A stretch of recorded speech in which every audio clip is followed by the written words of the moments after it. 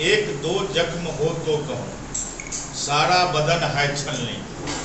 दर्द बेचारा परेशान है, उठू तो कहाँ से? आपने देखा होगा पिछले कुछ दिन पहले, जिला परिषद अध्यक्ष का चुनाव हुआ था। और उस अध्यक्ष के चुनाव में एनडीए और महागठबंधन के बीच में लड़ाई थी। लेकिन हमारे ही एक साथी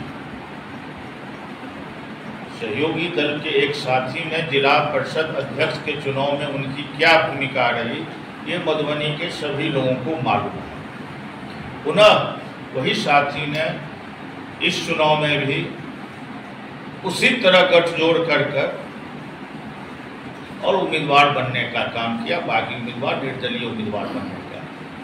क्योंकि वह उम्मीदवार बने थे चुनाव जीतने के लिए नहीं, उनका गठजोड़ था। जो हम लोग कह रहे थे किन्हीं के बारे में, बतासा और किन्हीं के बारे में सन पापड़ी तो ये बतासा और सन पापड़ी का गठजोड़ था कि एनडीए को रोकना। ये काला धन कहाँ से आया, इसकी जाँच आयकर विभाग को करना चाहिए। और मैं पीएमओ में भी प्रधानमंत्री कार्यालय को भी पत्र लिखूँगा कि जिस ढंग से काला धन इस चुनाव में निकला है, उसकी जाँच कराएँ आप जब वोट को देखेंगे तो मेरा वोट जो आया और जो बाकी प्रत्याशी ने वोट काटा, यदि हम दोनों को जोड़ते हैं तो प्रथम मर्यादा में हम आगे हैं, चुनाव जीते हुए। यदि पंचायत प्रतिनिधियों के मान सम्मान के साथ कोई खिलवाड़ करने का काम करेगा तो उसको मैं बर्दाश्त नहीं करूँगा। मैं ईट से ईट बजा दूँगा और पंचायत प्रतिनिधियों का मान सम्मान हारने के बाद भी करता हूँ बधाई देते हैं। जो निर्दलीय प्रत्याशी की यहाँ से जीत हुई है अंबिका गुलाब यादव उनको जीत का बहुत बहुत बधाई देते हैं। हम धन्यवाद करते हैं चुनाव आयोग को, जिला प्रशासन को और पुलिस प्रशासन को कि निष्पक्ष ढंग से चुनाव यहाँ कराया है मैं चुनाव हार गया हूँ। मुझे चुनाव हारने का कोई शिकन नहीं। क्योंकि मैं चुनाव हारा हूँ, मैदान नहीं हारा।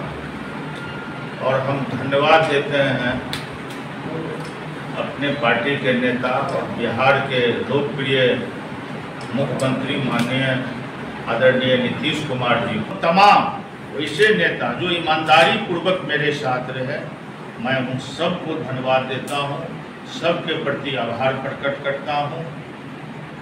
और जो लोग नहीं रहे, जो लोग बतासा और सनपापड़ी के लालच में, सबको मालूम है, कौन लोग क्या किए, नहीं किए, कोई छिपा हुआ नहीं है।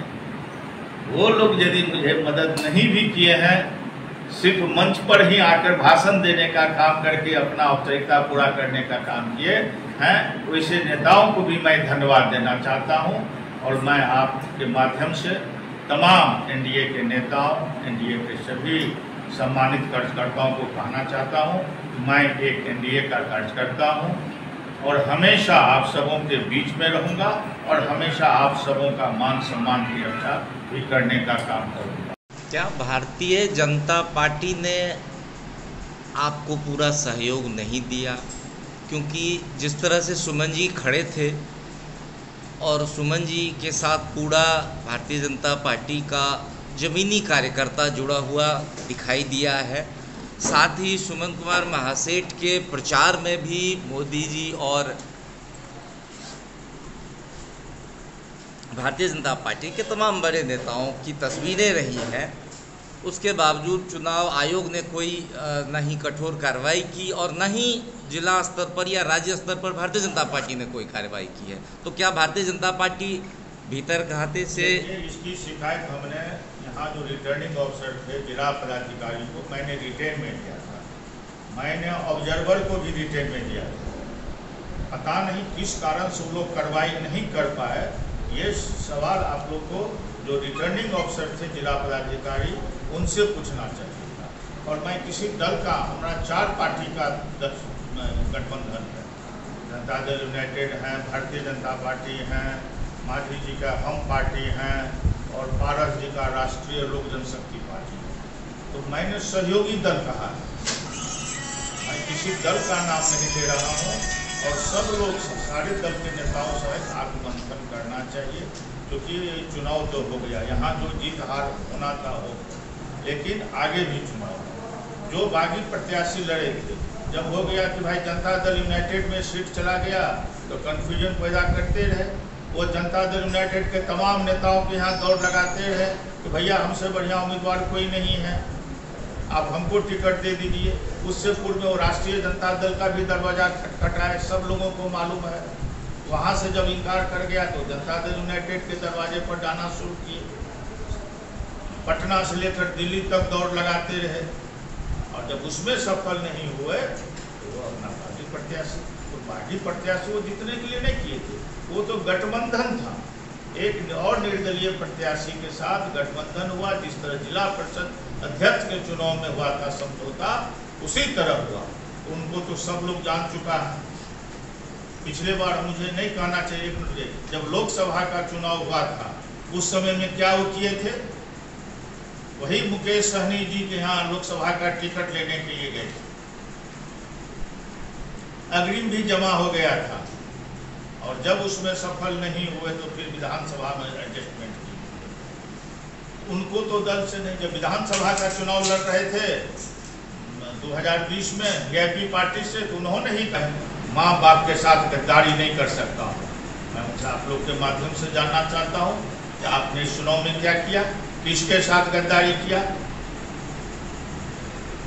पूरे प्रदेश में एनडीए का प्रदर्शन बढ़िया रहा है। जदयू और भाजपा दोनों का।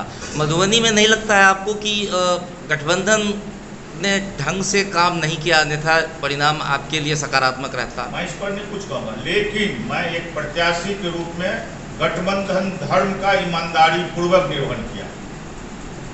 मैं तो कहा, हमारे इलेक्शन के जो कोऑर्डिनेटर थे वो सहयोगी दल से थे। हमारे इलेक्शन एजेंट जो थे, सहयोगी दल से थे। या जो पूरे जिला में मेरा कार्यक्रम चलता था, सबका नेतृत्व सहयोगी दल के लोग ही करते थे। तो मैं तो ईमानदारी पूर्वक से गठबंधन धर्म का पालन किया है और आगे भी ईमानदारी पूर्वक गठबंधन धर्म का पालन करते रहे। और चुनाव का जो खेला बेला हुआ, और मन से छिपा हुआ नहीं से हुआ। आज प्रधानमंत्री जी का महत्वाकांक्षी योजना है, काला धन निकालना। लेकिन काला धन का उपयोग जिस ढंग से मधुबनी में हुआ, हमको नहीं लगता है संपूर्ण बिहार में कहीं भी इस तरह का हुआ हो। हम आयकर डिपार्टमेंट से भी आप सबों के माध्यम से आग्रह करना चाहते हैं कि आयकर विभाग को इस पर नज़र रखना चाहिए और अभी भी समय है ये काला धन कहाँ से आया, इसकी जाँच आयकर विभाग को करना चाहिए। और मैं पीएमओ में भी प्रधानमंत्री कार्यालय को भी पत्र लिखूँगा कि जिस ढंग से काला धन इस चुनाव में निकला है, उसकी जाँच कराई जाए ये धन कहाँ से आया, कहाँ से आ रहा है। आपने देखा होगा पिछले कुछ दिन पहले जिला परिषद अध्यक्ष का चुनाव हुआ था। और उस अध्यक्ष के चुनाव में एनडीए और महागठबंधन के बीच में लड़ाई थी। लेकिन हमारे ही एक साथी, सहयोगी दल के एक साथी ने जिला परिषद अध्यक्ष के चुनाव में उनकी क्या भूमिका रही, ये मधुबनी के सभी लोगों को मालूम है। पुनः वही साथी ने इस चुनाव में भी उसी तरह गठजोड़ कर कर और उम्मीदवार बनने का काम किया, बाकी उम्मीदवार निर्दलीय उम्मीदवार बनने का। क्योंकि वह उम्मीदवार बने थे चुनाव जीतने के लिए नहीं। उनका गठजोड़ था। जो हम लोग कह रहे थे किन्हीं के बारे में बतासा और किन्हीं के बारे में सन पापड़ी ये बतासा और सन पापड़ी का गठजोड़ था कि एनडीए को रोकना। आप जब वोट को देखेंगे तो मेरा वोट जो आया और जो बाकी प्रत्याशी ने वोट काटा यदि हम दोनों को जोड़ते हैं तो प्रथम मर्यादा में हम आगे हैं, चुनाव जीते हुए थे।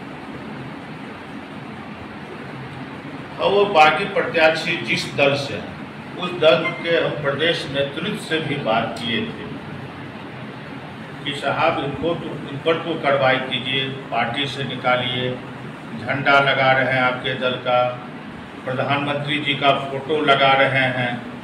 तो प्रदेश नेतृत्व के द्वारा मुझे साफ़ कहा गया कि 2020 में वो किन्हीं और पार्टी से विधानसभा का चुनाव लड़े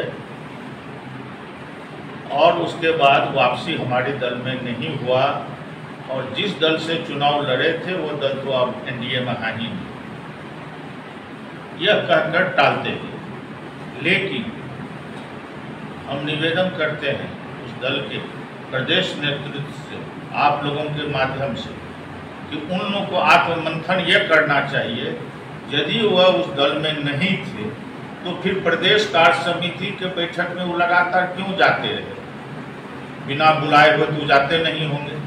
जिला कमेटी के बैठक में जाते रहे।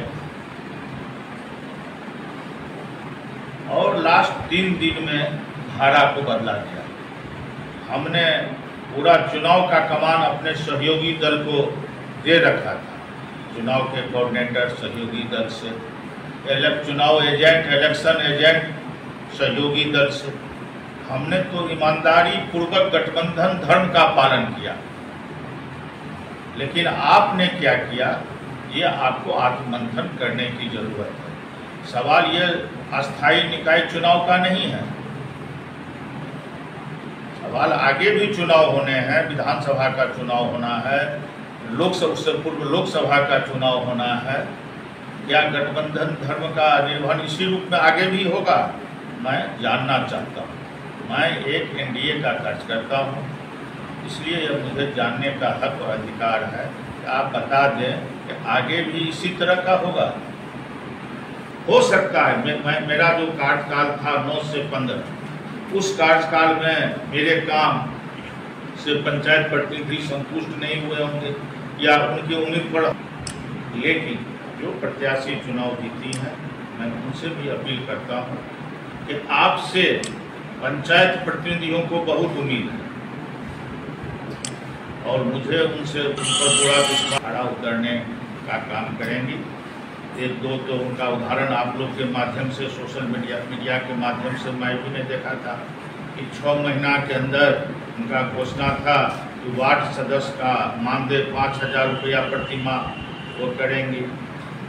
और इस तरह की कई घोषणाएँ। तो मुझे उम्मीद है कि उनका जो वादा था, सही समय पर अपना वादा को भी पूरा करें। इसके अलावा सरकार हमारी है